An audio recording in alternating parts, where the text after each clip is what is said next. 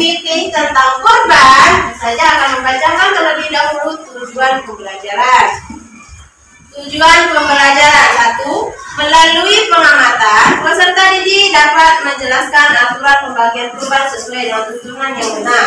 Dua, melalui penugasan, peserta didik dapat melafalkan doa sebelum menyembelih hewan kurban dengan fasih dan benar.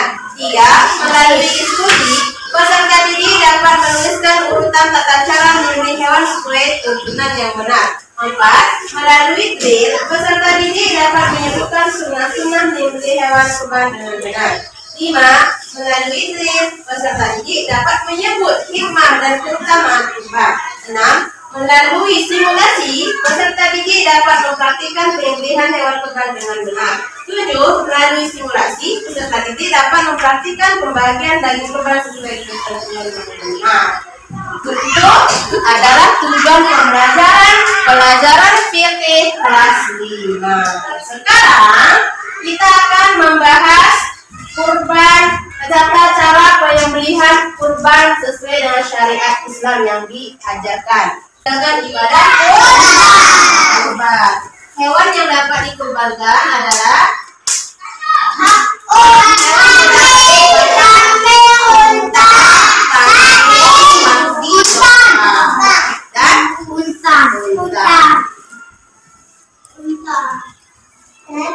Ketentuan hewan kurban. Pilih hewan kurban yang terbaik. Yang pertama, hewan kurban yang paling gemuk. Hewan kurban yang paling berharga. Hewannya yang bertanduk. Hewannya warna putih atau mayoritasnya putih. E, memilih satu kurban dibanding patungan. Itu ketentuan hewan berkurban. Cacat hewan kurban. Hewan kurban yang tidak boleh kita kurbankan. Hewan seperti apa yang tidak boleh kita kurbankan? Buta sebelah. Cacat yang membuat tidak sah. Nah, Buta sebelah matanya, eh, pincang, pincang kakinya, Cacat. sakit, kurus, hewannya sakit, jadi tidak boleh dikurbankan. Tidak ada sumsumnya, ada tulang sumsumnya. Karena terlalu tua dan kurus kering. Hewannya, untanya atau sapinya yang tua, nggak ada tali tulang sumsumnya, tidak boleh dikurban, dikurbankan. Nah,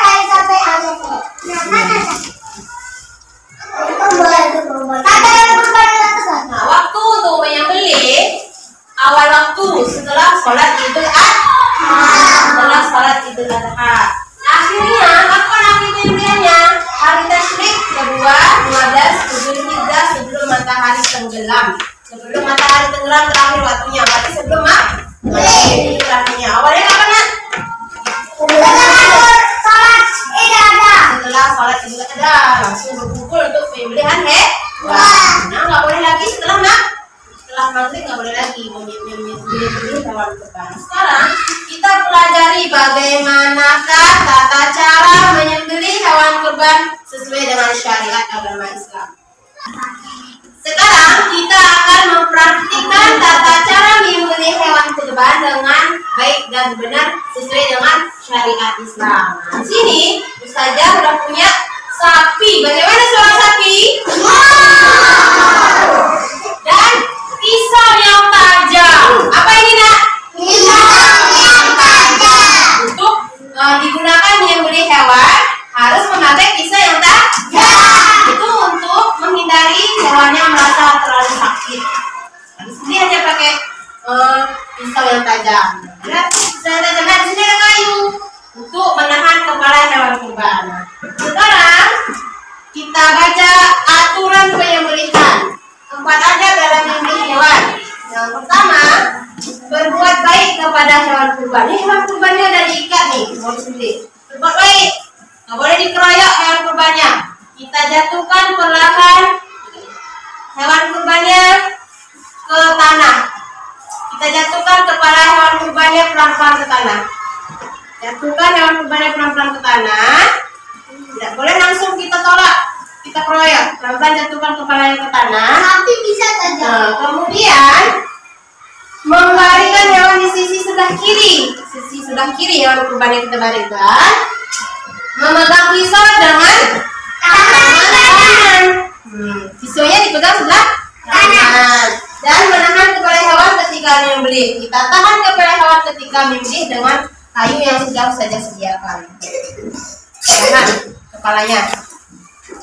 Kemudian meletakkan kaki di atas sisi leher hewan nih. Leher hewan kan kaki kita ada di sini. Kemudian apa lagi nak coba baca? Menghadapkan hewan ke arah kiblat. Mana arah kiblat kita? Nih, kepala hewan ini kita arahkan ke arah kiblat. Sudah ada kiblat yang belum? Kemudian kita menutup kepala hewan karena hewan yang akan disembelih tidak boleh melihat kejadian tersebut. Siapkan pisau yang tajam, kemudian kita baca doa menyembelih hewan. Coba jangan sama-sama.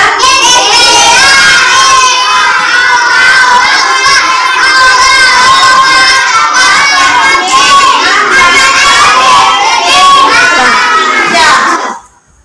Sembelih. Sekali sembelih sampai lehernya keluar darah.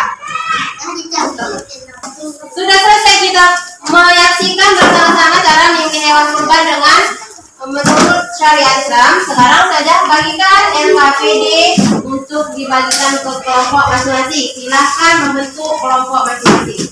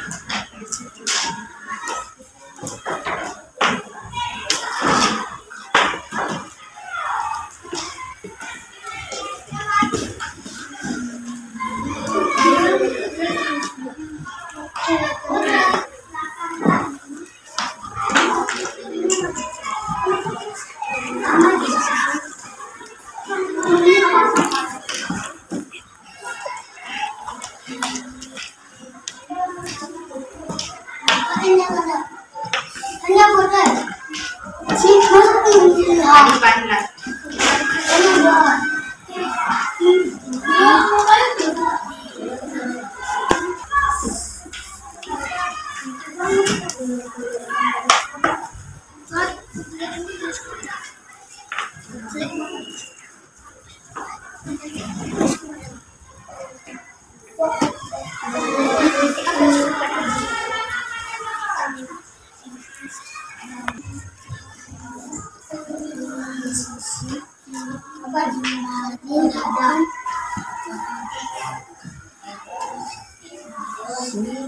Shri सबराम Singh Thank you.